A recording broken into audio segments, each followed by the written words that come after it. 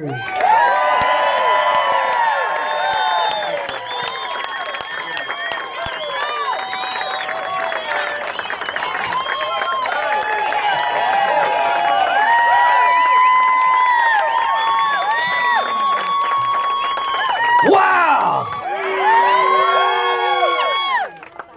God bless the great state of Oklahoma. Thank you so much for sending a strong, principled, conservative warrior like Congressman Jim Bridenstine to Congress.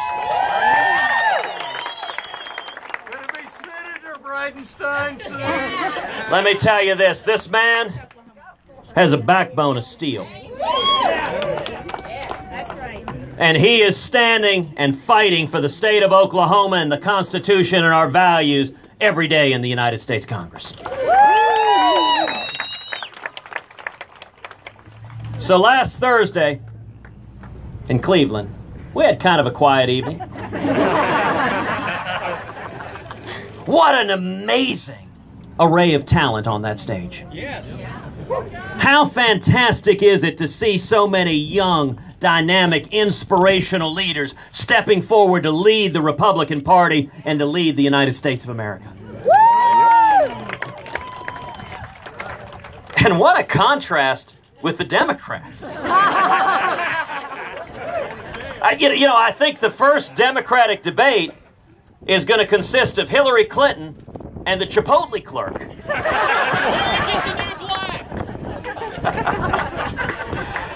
Now, now, now, actually, that's not fair. We can't forget about Bernie Sanders.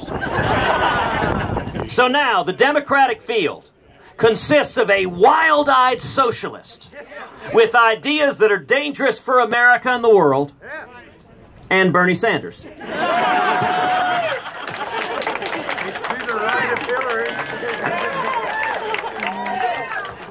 You know, it's pretty amazing. It, it looks like the Democrats, they may not have a debate. They keep de- delaying their debate September, October, November. I think they may just move it to 2017. Election. Well, you know, actually, they had planned an early Democratic primary debate.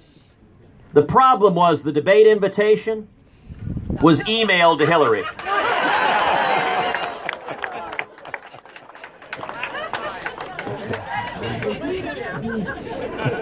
You know, I am so thrilled to be with so many friends and patriots here in Oklahoma today. We're here because America is in crisis. We're here because we're bankrupting our kids and grandkids. We're here because our constitutional rights are under assault every day from Washington, D.C. And we are here because America has receded from leadership in the world. And yet I'm here with a word of hope and optimism and encouragement and exhortation. The American people are waking up. And help is on the way.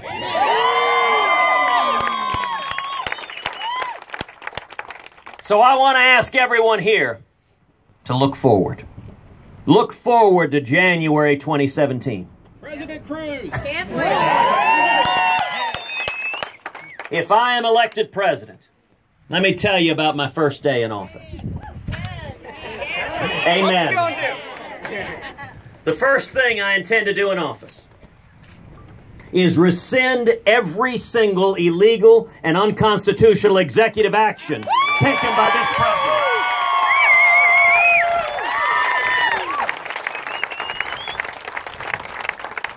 President Obama likes to say he's got a phone and he's got a pen. Well, you live by the pen, you die by the pen. And my pen has got an eraser. But sadly, the corruption has not just been limited to the White House. It is spread throughout the entire federal government. And the United States Department of Justice has become the most lawless partisan Department of Justice in the history of our country. The second thing I intend to do on the very first day in office is instruct Fire Boehner. And Boehner.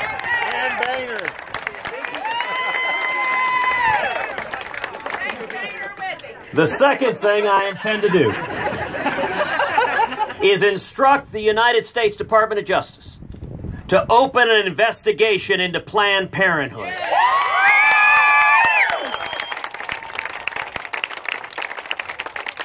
And to prosecute any and all criminal violations by that organization.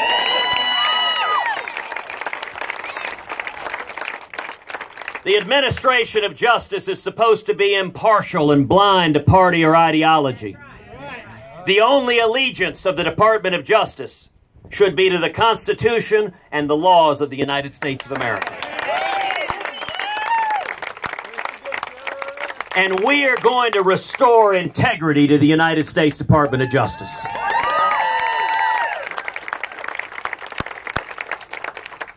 The third thing I intend to do on the first day in office is instruct the Department of Justice and the IRS and every other agency of the federal government that the persecution of religious liberty ends today.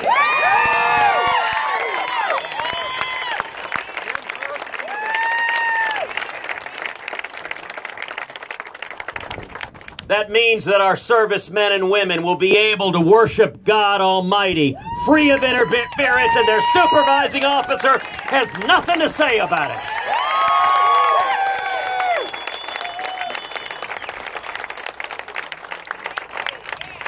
That means that the Little Sisters of the Poor, Yes, right. a Catholic charity of nuns serving the poor and elderly that the Obama administration is litigating against. In January 2017, they will receive notification that the case against them has been dismissed.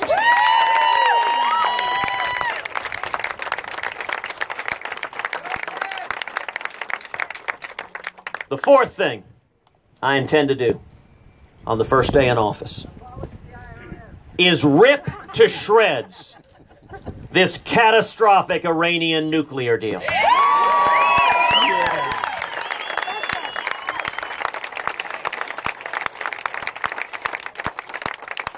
The single greatest national security threat facing America today is the threat of a nuclear Iran.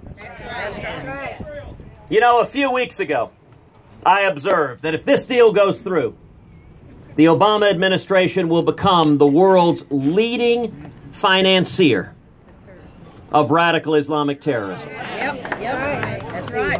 Now, in response, President Obama took time from his busy travels abroad between the eighth and ninth hole So true. to attack me directly. And he said, That's ridiculous. You can't use rhetoric like that. You can't say that. That's going too far. It's true. It's true. It's true. Now, sadly, Obama wasn't alone. Republicans joined with him.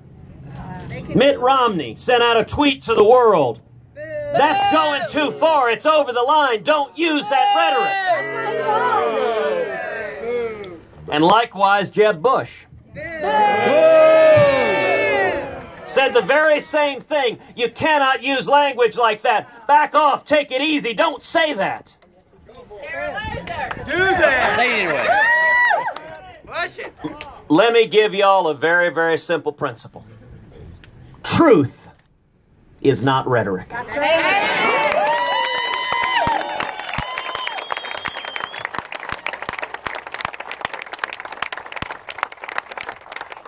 You know, the, in the entire course of attacking me, President Obama didn't actually dispute any of the substance of what I said. So let's review the facts. Fact number one Iran is today the world's leading state sponsor of terrorism. Right. True.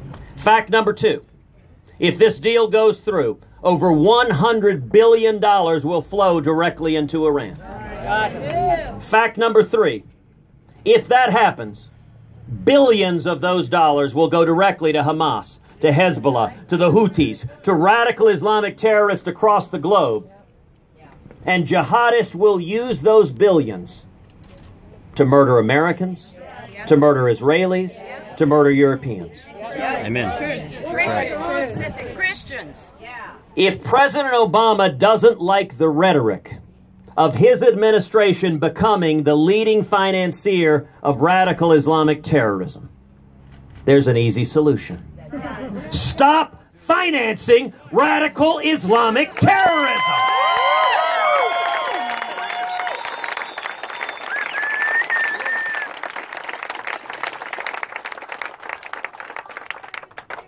The fifth thing I intend to do on the first day in office is begin the process of moving the American embassy in Israel to Jerusalem, the once and eternal capital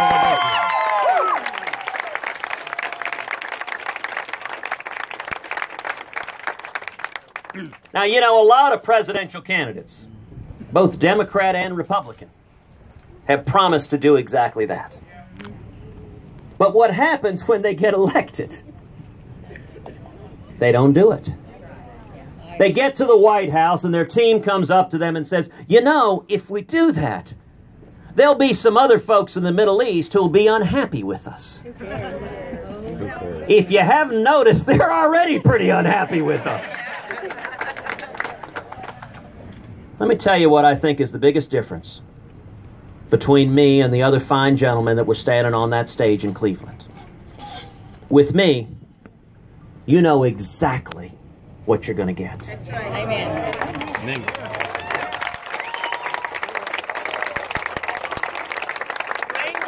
With me, if I tell you I'm going to do something, I'm going to do exactly what I said I would do. Woo!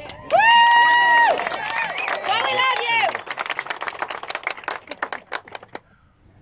That's day one. Day two IRS. There are 365 days in a year, four years in a presidential term, and four years in a second term.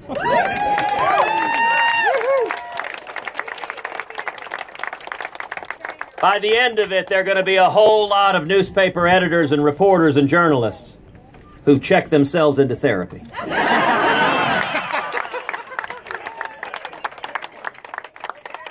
In the days that follow, I will go to Congress and we will repeal every word of Obamacare.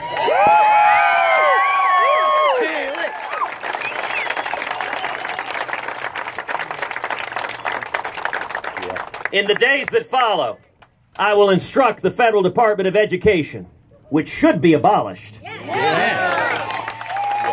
that Common Core ends today.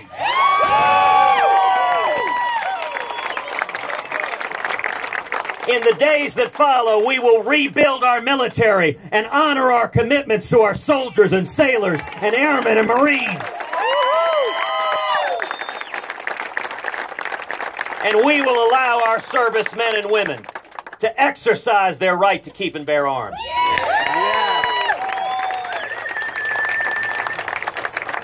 In the days that follow, we will finally, finally, finally secure the borders and end sanctuary cities. Abolish the IRS. And in the days that follow, I will go to Congress.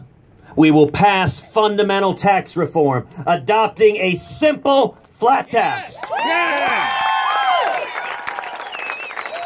Where every American can fill out his or her taxes on a postcard.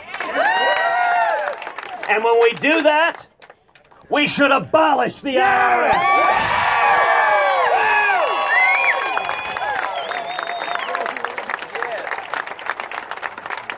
There are 90,000 employees at the IRS. Fire them. We need to padlock that building. Take all 90,000 and put them down on our southern border.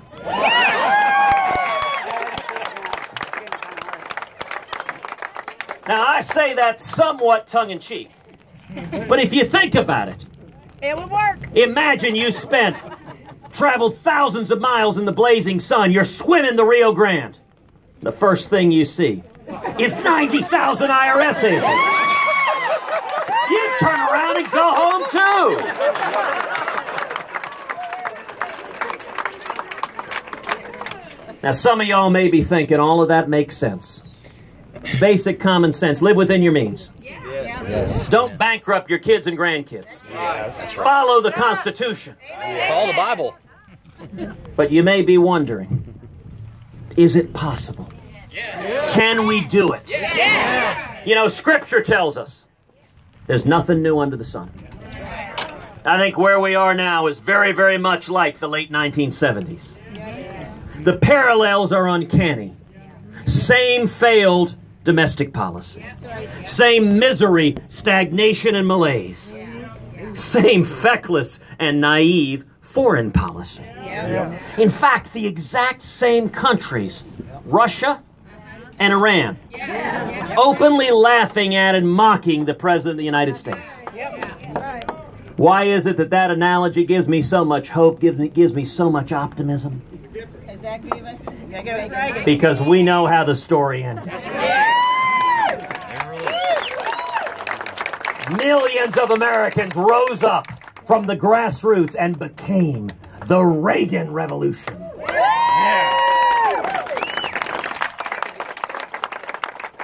Let me tell you, the same thing is happening again. Yes, it is. Amen. All across Oklahoma, all across this country. Woo! That's right. Oklahoma is going to play a critical role in the Republican presidential primary. That's right. The calendar has been moved up. It'll start in Iowa, then New Hampshire, then South Carolina, like it always does.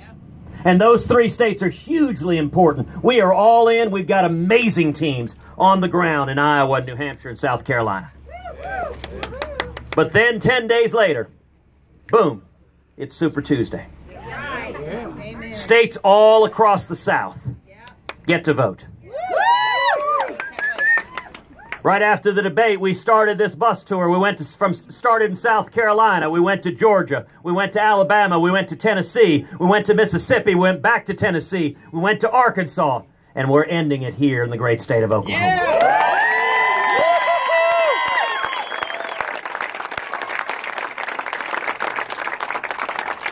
Those southern states, including my home state, the great state of Texas, we're all voting on March 1st. And I got to tell you, Texas and Oklahoma, we agree on just about everything. Well, except football. And let me tell you the role of Oklahoma and the other southern states on Super Tuesday. Our role together is to ensure that the next Republican nominee for president is a real and genuine conservative.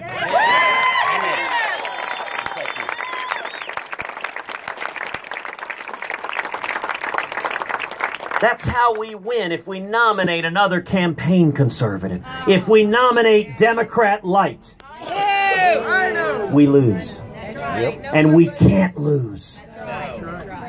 So I'm here today asking each of you for three things. Number one, I ask each of you to join us. We have an incredible leadership team here in the state of Oklahoma, respected conservative leaders across this state that have stood up and come together. I ask every one of you to volunteer for our campaign, to volunteer in your county, to volunteer in your precinct, to reach out to your friends and neighbors and loved ones, and to unite conservatives.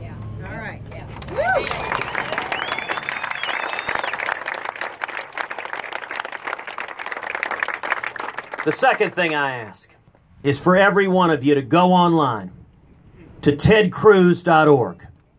Tedcruz.org. Tedcruz.org.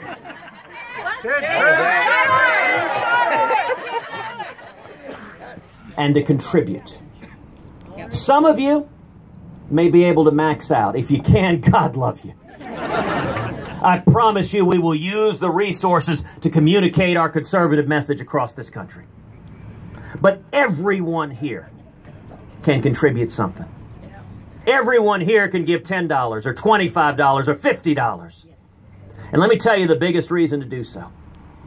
Because when you do so, you got skin in the game. You're invested. Then it's not my campaign, it's our campaign.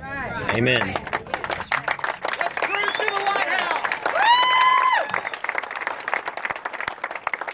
When you do so, that's when you're going to speak up and you're going to call your mom, you're going to call your son, your next door neighbor, your business partner, your college roommate, and you're going to say, This race matters.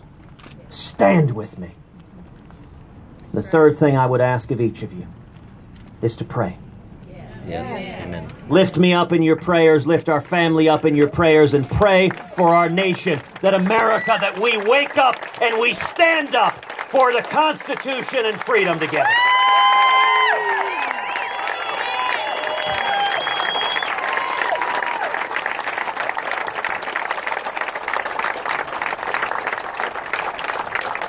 The Reagan Revolution that happened in 1980, the same thing is happening today. Look around. Look at the men and women who are here. Look at the fact that we're standing in the rain and nobody's left. Let me ask something. Everyone who is under 30, please raise your hand. Take a look around. Take a look around.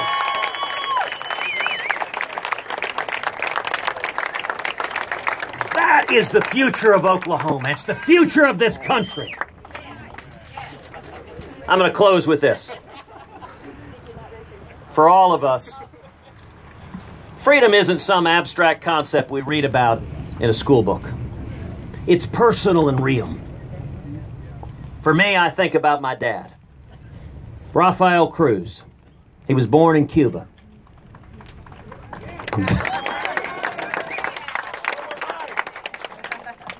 Qué bueno. Ah, qué bueno, otra vez. He fought in the Cuban Revolution. He was imprisoned and tortured. Batista's army beat my father halfway to death. My dad fled Cuba in 1957. He came to America with nothing $100 in his underwear. He couldn't speak English. He got a job washing dishes, made 50 cents an hour. Worked full time, paid his way through school, went on to, on to start a small business in the oil and gas industry. Today, my father is a pastor. He travels the country preaching the gospel.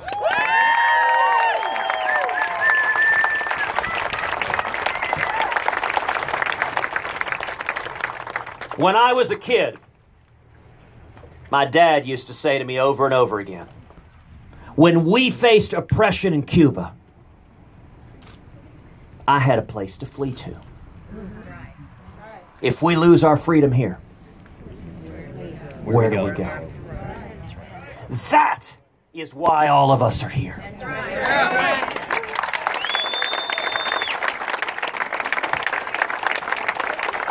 Because we will not go quietly into the night. We will not give up on our children. We will not give up on our grandchildren.